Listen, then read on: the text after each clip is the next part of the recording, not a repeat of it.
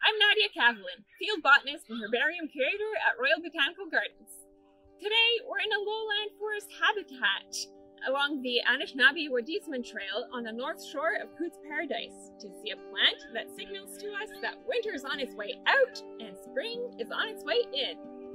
Skunk cabbage. Its scientific name is Symplocarpus foetidus. The roots of this name are Greek, where symplocarpus means connected fruit and refers to the structure of the fruit.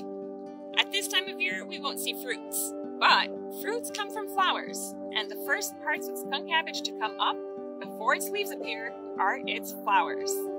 They're a mottled maroon, sometimes more maroon or red, sometimes more yellow, and sometimes more green. Let's take a peek in here. Do you see that? It looks like a knob with little spikes on it. This form of flowering structure is called a spadix. All these little spikes are tiny flowers. They're perfect flowers, meaning all the parts they need to reproduce are right there in a single flower. There are no petals, but each tiny flower has four tiny sepals. What you see there are the anthers. This structure that looks like a cape around the spadix is called a spathe.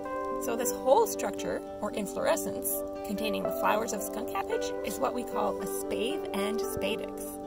You'll recognize this form of flowering from other plants that you know in the family Araceae, or the arum family, like jack in the pulpit or calla lilies.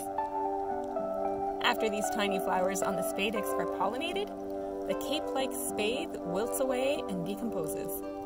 As the pollinated flowers grow into fruits, all stuck together on the spadix into what botanists call an aggregate fruit, it begins to look like a dark mini pineapple. But pineapples are in a different plant family, they're bromeliads.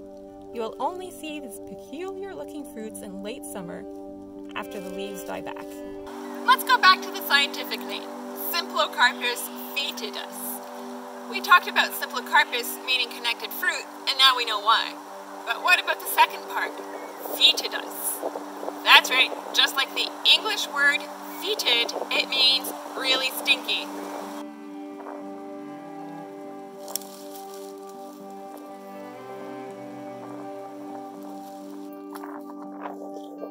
It doesn't smell like skunk to me, or like garlic that was left in the pantry for too long. Maybe if I could recognize the scent like an insect does, I would find it delightfully attractive.